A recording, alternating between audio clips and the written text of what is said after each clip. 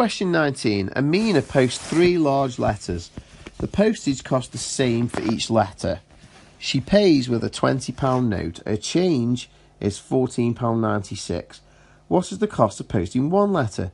Well, because she got £14.96 change, if we subtract that from £20, we'll be able to figure out how much she actually paid for all three large letters. So, £20 take away £14.96. Well, what it's probably easier to do there is actually to count back up from £14.96 up to £20. And the difference will be what you would get if you subtracted it. So from £14.96 up to £15 will be four pence. And that would take us to £15. Then obviously then we've got to get up from £15 to £20, which would be another £5. So it's basically going to be £5 and 4 pence. That's how much she must have paid. We could do an actual column method to check this, but in this case, that column method might be difficult because we'd end up with a lot of zeros on the top.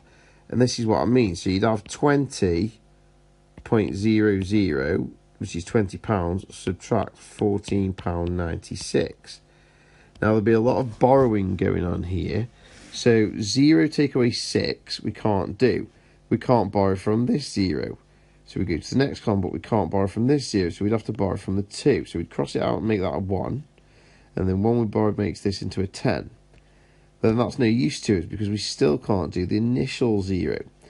Take away 6. So cross out this 10 and make that a 9. And make this one into a 10. Cross out the 10, make that into a 9, and make this one into a 10. Now we can do it.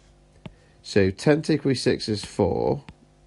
9 take away 9 is nothing. 9 take away 4 is 5. And 1 take away 1 is nothing. So yeah, it is indeed £5.4. But that's the cost for posting all three letters. We want the cost for one letter.